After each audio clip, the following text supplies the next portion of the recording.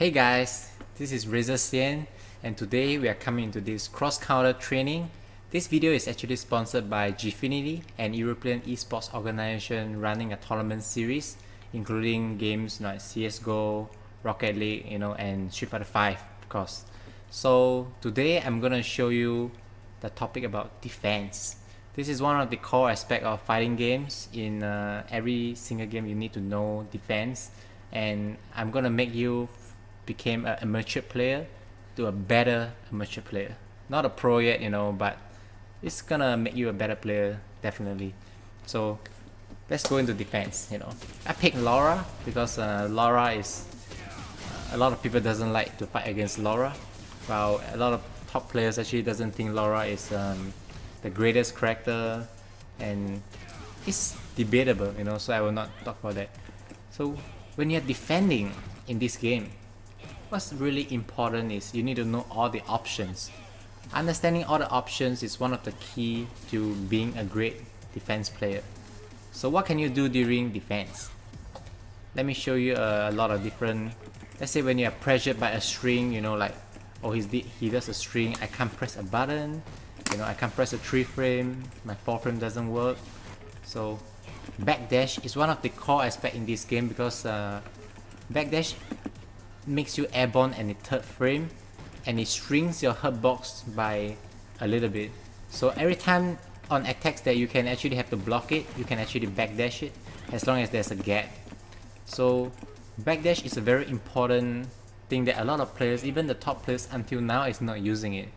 The, the removal of jump back tech in a 2.5 patch makes people questionable about how to actually defend properly in this game.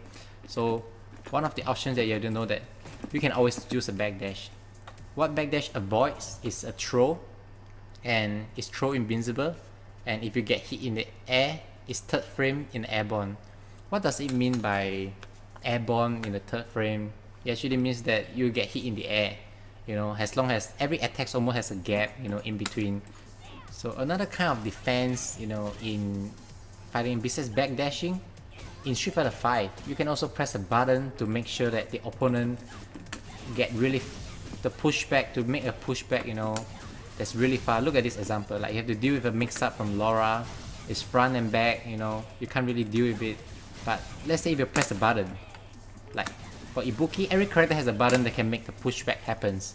It's usually a standing attack, you know, so when, when the pushback happens, you can whiff punish after they press a button, you know. See, look at this. So the combo that originally works if I'm blocking will actually not work if I press a button. So I can get a comeback just like this, you know, easily. Every, every character can do it. You can do max damage, you know. It's up to your choice, you know, which which one you want to do it and uh, what kind of mix up what works this is all about you know a little bit of hard work you know you need to know a little bit of what mix up they always get hit you can uh, avoid the 50-50 this way. Of course, uh, this is two of the core mechanics. I still think backdash is something that's really very under optimized. A lot of players is not really using backdash. And one of the very common situations is uh, dealing with like shimmy. So a lot of people think that 50-50 is like, okay, let's say I get hit by a Laura, a shoulder attack is plus 2, so I can't press a button, right? Cause he can, the throw will always get me. And when I try to, when I try to do a tech throw, you know, Laura does a shimmy. See, I do a tech throw, Laura does a shimmy, and if I doesn't, if it doesn't tech, you know, and he just throws me. So this really looks like a 50-50 in a lot of situations in a corner, a throw loop, you know, it always happens, you know. One of the things you can do is you can always jump away. A lot of people didn't realize that jumping avoids the throw. So when jumping avoids the throw, you can just jump to avoid it. So what if they do a shimmy? What happens if you do a shimmy? You can also avoid it because they're actually walking backwards and delaying their attack. So at this situation, you see, if I, if I jump forward and they do a shimmy, I'm really, I'm kind of safe. No, but if actually, but if it does a throw, I get out of the situation.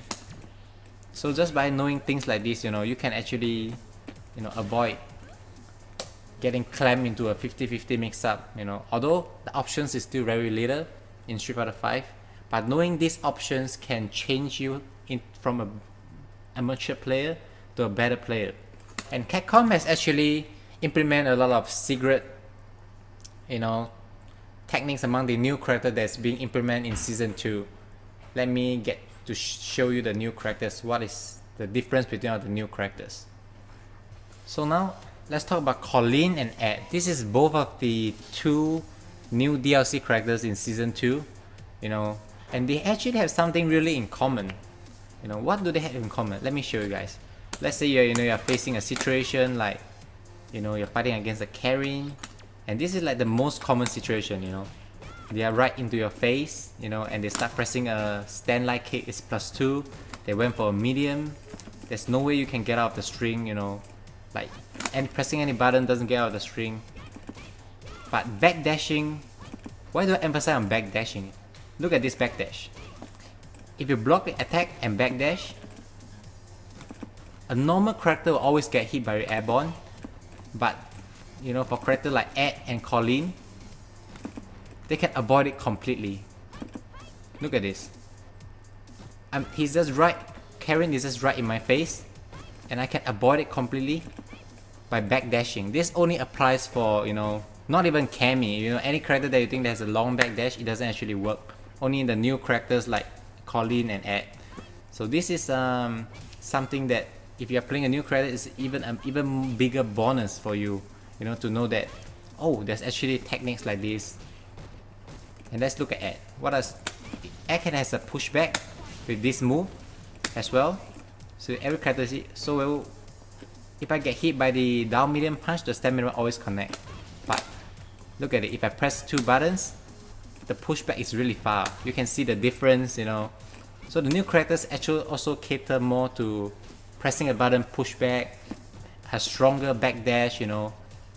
So these are the, some mechanics that you can use to make your defense better, including jumping away in a corner when you're trapped by a mix-up, a throw loop, you know. Let me show you the situation right now. A very common situation, you get thrown by Karin and he just does a throw, you know, or he just does a shimmy, he just crouch down and does a shimmy. And a lot of a lot of people think that oh, I don't like this situation. Like this situation is like such a 50-50. There's nothing I can do. If I take the throw, I get shimmy. If I don't take the throw, see I get shimmy, you know. So it's like this like a, move shimmy or you know walk shimmy, any any terms you may call.